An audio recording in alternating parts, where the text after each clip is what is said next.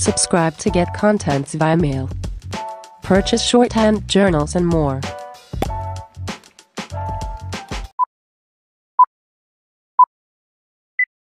The present appeal is filed by the appellant herein a medical practitioner, being aggrieved and dissatisfied with the order passed by the Additional Judicial Magistrate of 2006 and confirmed by the High Court of Judicature at Allahabad on February 9, 2007 in Criminal Revision number 366 of 2007.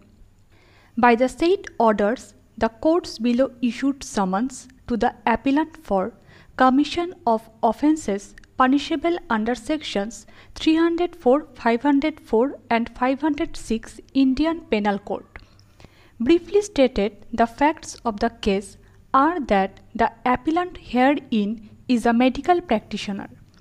It is the case of respondent number 2 complainant, resident of Mathura that he is residing at the aforesaid place.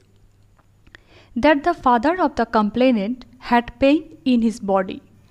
On July 4, 2001 at about 6 pm, therefore, the complainant brought his father Buddharam to the clinic of the appellant herein for treatment. According to the complainant, treatment was given by the appellant who administered three injections to Buddharam. Within half an hour, Buddharam died. The appellant asked the complainant to remove the dead body of Buddharam immediately and also threatened the complainant not to take any action against the appellant.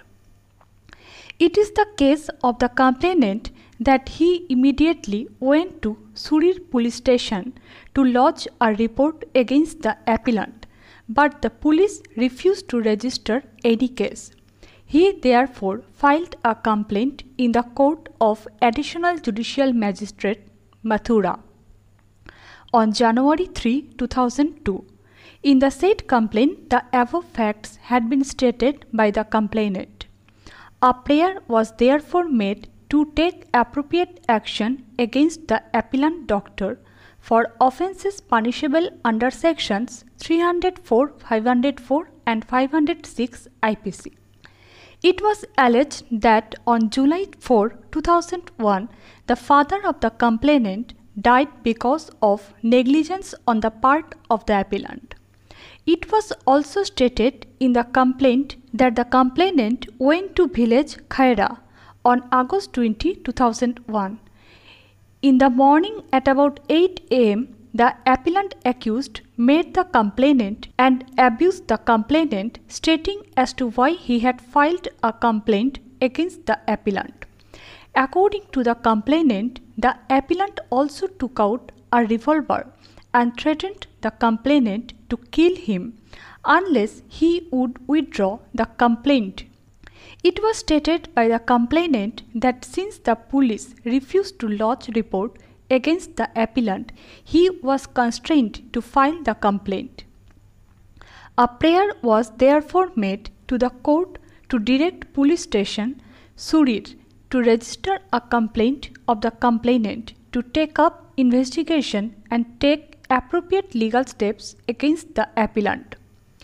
In the alternative, the Learned Counsel submitted that serious error of law has been committed by the courts below in issuing process for commission of offences punishable under sections 304, 504 and 506 IPC.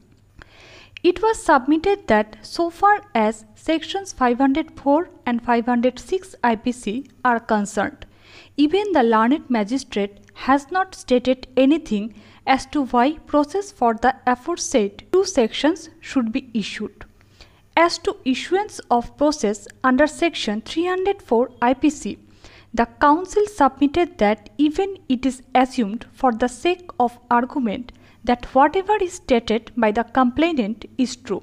The appellant is a doctor and it is well established that in exercise of his professional conduct, no criminal liability can be imposed on him.